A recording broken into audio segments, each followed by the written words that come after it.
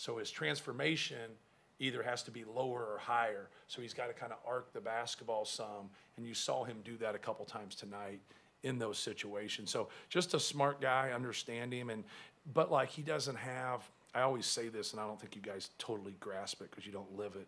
But there's so much crap that goes on with recruiting. You feel bad for young kids because they get put on this pedestal and then they go and play college basketball and people see him, they're like, well, he's not all that. Well, he's young. You know, he's 18, 19 years old playing against 22 year old. He doesn't have any of that. So, like, when he was 15 years old, he didn't play organized basketball. So, like, that's such a big piece to where when you tell him something, it's not a fight.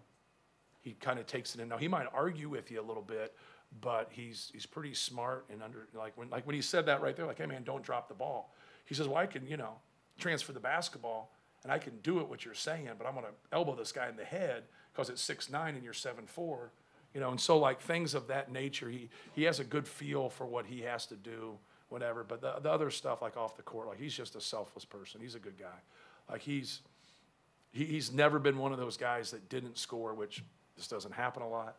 But like he's mad when we win and he scores 14, right? Like he's never that guy. Like, and, like when you deal with people that are skilled, like they want to win, but they, they want to score too. They want to score. Like you'll see the bitter beer face sometimes. You'll see those guys. You'll be like, "Come on, man, we won by 30. I know you only shot four times, but like, but like they work so hard. Like they're maniacal workers. So when you put in that kind of time, like you just, you know, you want to crack at it from a shooting standpoint, and not every time it's going to be where you're going to get the volume of shots that you want. Sam Leslie.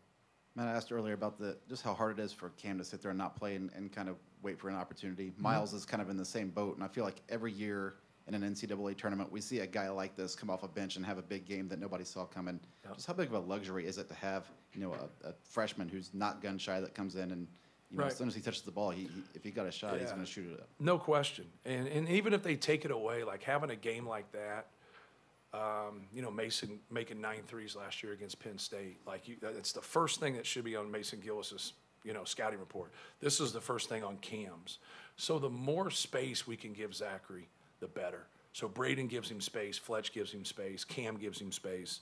Like all the guys that can really, really shoot, Lance Jones gives him space.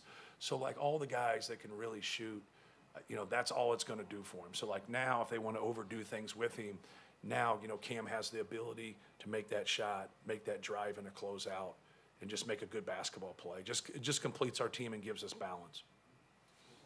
Thank you.